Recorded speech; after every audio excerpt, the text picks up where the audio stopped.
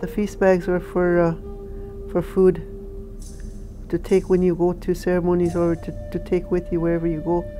So you don't have to use plastic or you don't have to use uh, paper plates. You have your plate to eat to eat from.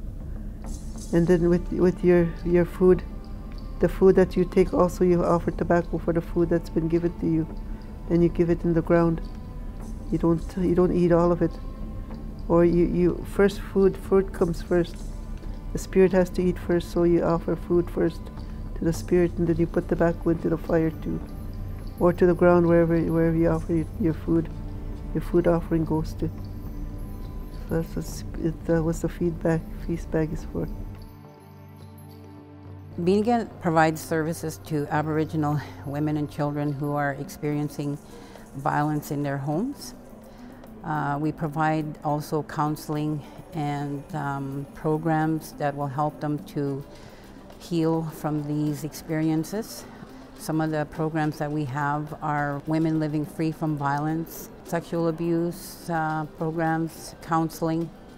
I think the Voices Project was uh, initiated as a result of some of the impacts that our Aboriginal uh, women and children have been facing as a result of violence. For instance, social policy by the government uh, through residential, to have Aboriginal children go to residential schools have uh, one of the impacts. That uh, came to an end this year or last year, I believe. This is an uh, opportunity for projects like uh, Anishinaabe Voices to help Aboriginal people get back some of the losses that they've experienced, for instance, um, cultural programming, uh, understanding um, what their roles are, uh, if they've uh, lost those teachings, being pulled out of the family system when they were very young. And the other thing is our spirituality was impacted through the churches.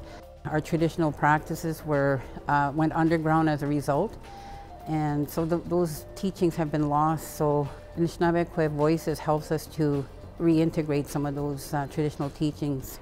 One of the things that I uh, heard from the workshops is that one day I was watching the elder, how she was so uh, pleased and appreciative of the opportunity to um, participate in the making of her skirt, how, how that was really important to her and in connecting with the other women, like bringing them together, the social aspects of coming together and uh, engaging in uh, an activity that is important to them.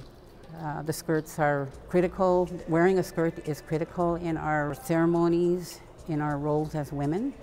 Uh, like, for instance, coming here today, I put a skirt on to respect that tradition of women wearing skirts in ceremony, and that's what uh, some of the experiences have come from this.